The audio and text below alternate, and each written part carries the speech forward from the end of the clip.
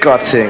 Okay, wir sind die ABs und chillen hier gerade zusammen mit den Disco Six und Chaotenplan und Gaststars sind hier noch die Elbcore Posse und schaltet nicht ab, es läuft gerade Freestyle. Letzte Woche hatten wir Easy Business aus Hamburg hier im Studio. Heute haben wir wieder ein paar Nordlichter da. Die absoluten Beginner aus Hamburg. Wollen wir die Fangemeinde auch nicht vergessen, irgendwie die oder, oder die allgemeinen Dazugehörigen, die noch dabei sind. Ähm, bevor ihr richtig angefangen habt zu rappen, irgendwie kann ich mich entsinnen, irgendwie hattet ihr schon eine politisch fundierte, feste Meinung. Und bevor die Rhyme-Steals richtig da waren, irgendwie war auch von der politischen Aussage und so von dem sozialkritischen schon alles da. Wie seid ihr überhaupt zum Hip-Hop gekommen? Ich denke mal, es ist bei jedem verschieden gewesen. Also bei mir war es halt so, dass ich irgendwelche Platten aus den USA toll fand so und mir die dann irgendwann reingezogen habe und die Styles und das fand ich alles cool, so eigentlich nur outfitmäßig und das hat eigentlich so oberflächlich so angefangen alles. Und dann haben wir uns halt alle so getroffen, so gechillt und hatten Bock irgendwie Musik zu machen. Und bei Eisfeld, der hatte halt immer schon so ein bisschen Equipment zu Hause und so hat es angefangen und er kannte auch ein bisschen ein paar Leute, er hat ja auch früher schon da so Zeitungen gemacht und so und so sind wir dann auf den richtigen Weg so gekommen und haben angefangen, Musik zu machen. Du bist derjenige, den ich früher schon, Eisfeld ist derjenige, den ich früher schon auf euren alten Postkarten gesehen habe mit einem St. Pauli-T-Shirt.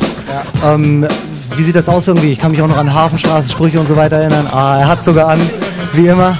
Ja, ich meine, also äh, wir wehren uns, wenn es jetzt schon wieder, jetzt werden wir schon wieder darauf angesprochen, wir wehren uns ein bisschen dagegen, dass wir immer so die Punks des Rap sind und so weiter. Also es wird immer in den Medien so hochgepusht, weil wir irgendwie ein Image brauchen, wie jede Gruppe. Und dann sucht man jetzt so die, die Punks irgendwie zu finden. Aber ich meine, das Ding ist einfach, wir sind einfach, wir haben halt Bock, was zu sagen, was Aussage hat und reden halt nur über das, was uns wirklich angeht und nicht über Party so in unseren Liedern. Und das hat aber nichts damit zu tun, dass wir irgendwie aus Hamburg kommen, wo es die Hafenstraße gibt oder ähm, wo es ziemlich ein hohes Potenzial an Linken gibt, so. sondern es ist einfach so entstanden. So. Alles klar, jetzt sind wir die ABs erstmal live und dann geht's weiter.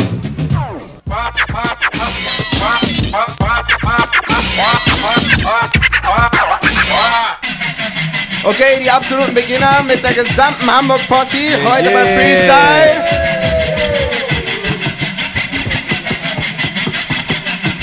Dieser Song geht an alle Musikmedien, die sich kopfen lassen und die nur für bare Mütze Musikberichte verfassen. Deshalb kommen die Beginner und zerschlagen die Show. Noch halt vorher muss der Mann noch einmal richtig aufs Klo.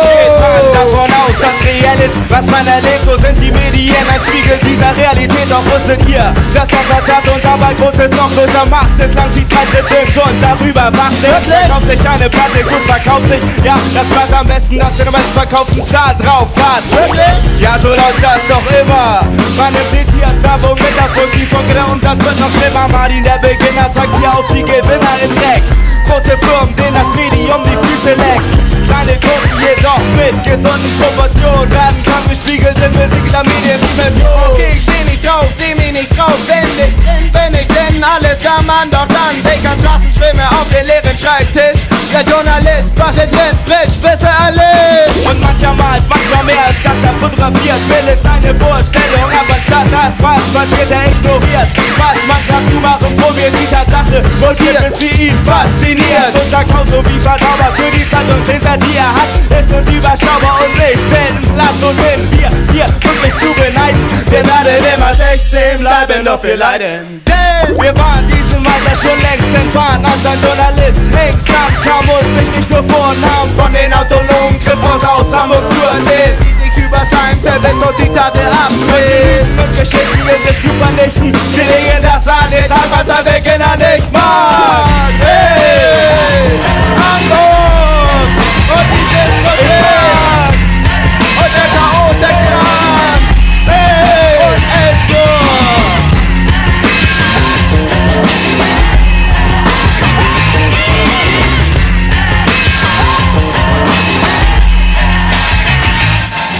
du ein Musiker und willst mit deiner Musik hochhinaus, ja dann reicht doch so gute Musik zum Erfolg allein nicht aus. Denn du brauchst doch ein Image, womit man dich vermarkten kann. Nun sind die Medien dran, Der Major zahlt. nimm dich einmal an. Packen dich in eine Schublade mit nem Etikett drauf Und was du in keine rein, machen sie für dich der neue auf Und heute kommt immer gut. Vor allem besser jetzt in jeder Post bringt einen Bericht über dich, damit auch er sein Geld kriegt Die Medien sind die Nutzen der Plattenindustrie Was gehört heute oder nicht, deshalb fahren wir sie da in der Medienwelt Und Geld wird dann langsam unterwegs Damit der Platte verkauft und die Auflage in die Höhe. Stellt Vertraglich ist die Qualität vom Interpret, denn das Urteil besteht. Nur aus der Es Verkaufsintensität. geht von Jubelrufe zu den Bürgerbienen Respekt jedoch an alle Untergrundbandys, an alle, die kontinuierlich objektiv schreiben und authentisch auf dem Boden der Tatsache bleiben. Macht weiter und berichtet über den Untergrund, damit dieses einzigartige Sprachrohr niemals verstummt. Hey, was haben wir Was haben wir genannt? Was haben wir genannt? Disco, Disco, laut ins Plan. Was haben wir genannt? Hector! Hector, das! Was haben wir genannt? Worüber bist du beunruhigt? Nein, nur über das Fernsehen und über die Presse und all den Scheiß da draußen. Mach dir Du machst dir viel zu viel Sorgen.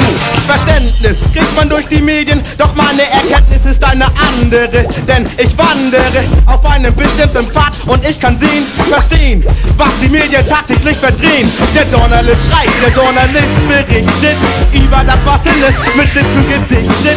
Vernichtet wird so, das wahre Kern wird nicht belichtet, denn der Kern ist die Nummer scheißegal.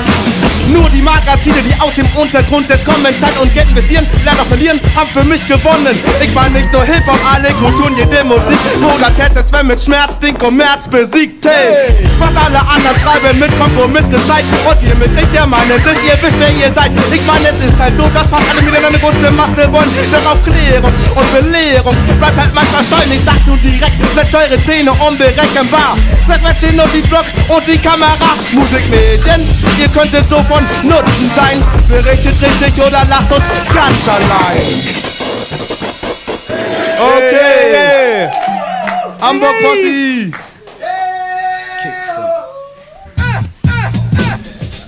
Okay, was wir gerade eben gesehen haben, waren die ABs live.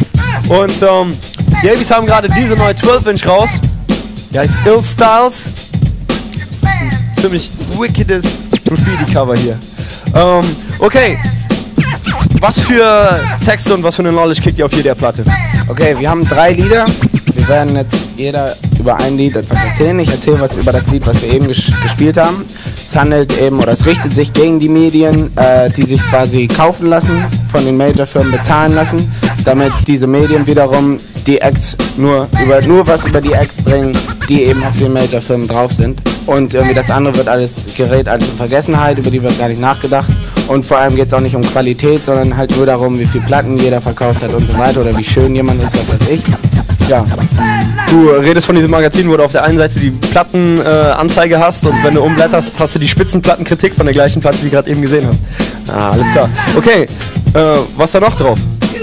Ja, so ein anderes Lied, das heißt Multi-Chill und das handelt eigentlich, es ist eigentlich gegen die Hip-Hops gerichtet, die irgendwie so eingeschränkt leben und meinen, die sind irgendwie die geilsten und der Rest ist irgendwie scheißegal und die lassen sich überhaupt nicht ran. Und wir leben halt in Hamburg so, dass wir irgendwie alle zusammen Party machen, ob man sich nur als Linker bezeichnet oder als was auch immer, als Hip-Hop oder, ist scheißegal, Hauptsache man hat den gleichen Grundgedanken und wir machen alle zusammen Party oder was weiß ich, diskutieren zusammen, chillen zusammen, machen Aktionen zusammen, irgendwie und das ist halt derbe wichtig für uns, dass irgendwie nicht so eingeschränkt alles abgeht irgendwie, sondern dass man irgendwie versucht, sich Perspektive zu erweitern, erweitern und offen und tolerant ist.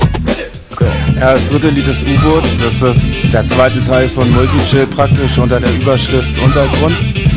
Und das richtet sich nochmal so kritisch an den sogenannten Untergrund jetzt so, an die Subkultur sozusagen, so was da unter den Gruppen so falsch läuft halt und und auch viele, das ist, dass sich viele Leute halt damit schmücken, so mit so einem Untergrund-Image, so ja und so, wir, wir sind nicht so Mainstream-mäßig drauf und, und dass da halt häufig nichts hintersteckt, so das Ding ist eher Hardcore-mäßig. Euer Kostüm irgendwie oder euer Outfit, sagen wir mal, euer Outfit, hat das irgendwie eine besondere Bewandtnis heute? Na, nee. Es ist halt so, dass hier die Disco Six vorhanden ist und das eigentlich das Auto von dem Disco Six. Also manchmal ist es dann so, dass die abends losgehen und die Leute so ein bisschen arschen und provozieren wollen irgendwie. Und dann gehen die halt einfach so los und machen Party und alle gucken so, oh, was geht denn mit denen ab und so. Und darauf hatten wir jetzt einfach Bock und deswegen, es hat aber nichts Besonderes zu sagen. Wir chillen immer, wie wir Lust haben, Mann. Ich finde es wichtig, das nur noch mal kurz nebenbei zu sagen, weil mir geht es irgendwie, wenn ich Thomas D. sehe, wie er und irgendwelche Grimassen schneidet oder so, dass sie einfach irgendwann unglaubwürdig wirken so und das ist bei euch ja eigentlich nicht der Fall, sagen wir mal so. Okay, kommen wir nochmal zurück zu dieser Platte. Was kickt ihr musikalisch hier drauf für Styles? Äh, ja, das sag ich da mal. Also musikalisch haben wir uns ein bisschen erweitert. Das ist mein Man Thorsten hier, der hat darauf Trommeln gespielt. Und ähm, den haben wir uns von einer Hamburger Hardcore-Formation ausgeliehen.